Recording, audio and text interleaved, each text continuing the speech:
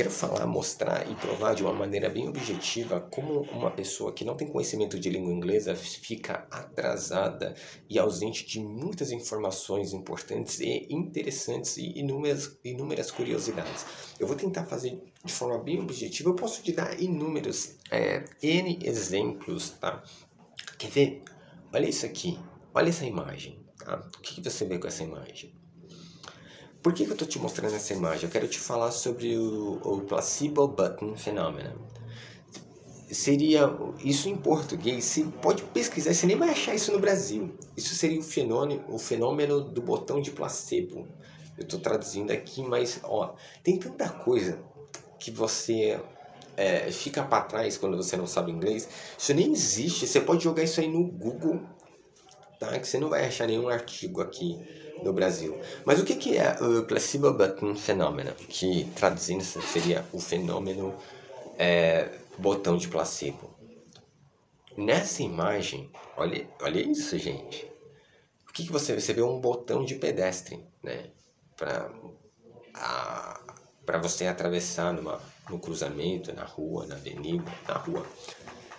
É, esse fenômeno, ele ele faz com que a pessoa ela tenha uma sensação de controle, por exemplo, esse botão, você sabia que ele não tem funciona, funcionalidade nenhuma, nenhum tipo de funcionamento?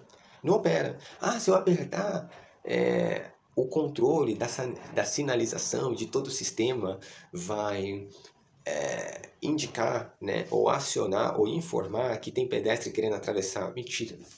Esse botão é para aliviar seu alívio de estresse no momento de você atravessar, o farol vai ter que é, fechar para os veículos para me atravessar. Esse botão não tem funcionalidade nenhuma. Nenhuma. Tá? Esse, esse botão não tem funcionalidade nenhuma. É, te dá uma falsa sensação de controle quando você aperta que você existem outros exemplos tá, relacionados a isso com o placebo button fenômeno e esse botão ele é inoperante tá ele não vai contribuir para acelerar o fechamento do farol dos veículos e acelerar o processo para a abertura do farol dos pedestres para você atravessar. Não. Isso só te dá uma falsa sensação de controle de algo. Tá? Isso é para te dar uma falsa sensação de controle de algo. É, bom, eu vou deixar esse vídeo curtinho. Tá? É, eu vou criar outros vídeos para te dar mais exemplos, como a falta do conhecimento de inglês vai te impedir de buscar pesquisas é, informações preciosíssimas e outros conhecimentos é, similares a esse, ok?